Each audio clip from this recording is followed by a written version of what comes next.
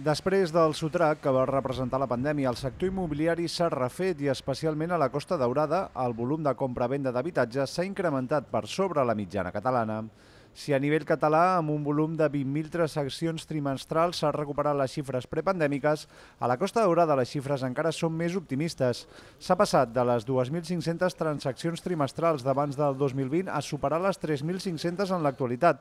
Els experts asseguren que el creixement del turisme de proximitat ha alimentat la necessitat d'adquirir habitatge de segona residència, especialment a municipis de costa i amb especial impacte a la franja de Salou. Gràcies a l'impuls del teletreball, cada vegada és menys rellevant la ubicació de residència respecte d'allà on es trobi el nostre domicili. I això és en favor també d'aquelles zones costeres que poden oferir una millor qualitat de vida, com pot ser doncs, tot l'àmbit de la Costa Daurada.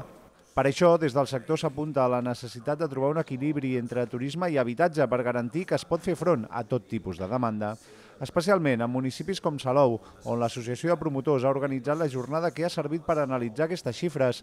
El municipi de la Costa Daurada és un dels que més ha crescut en població els últims anys i ara afronta el repte de revisar el seu pla general amb perspectives de creixement. El municipi encara pot créixer, i de fet la revisió del pla general, eh, que tot just ara estem començant a desenvolupar-la, va en aquest sentit. Cal veure com és molt important en aquest cas el, el, el com més que el què. No? En principi, les àrees de creixement del municipi salouenc es situarien en Prius i Barenys Nord.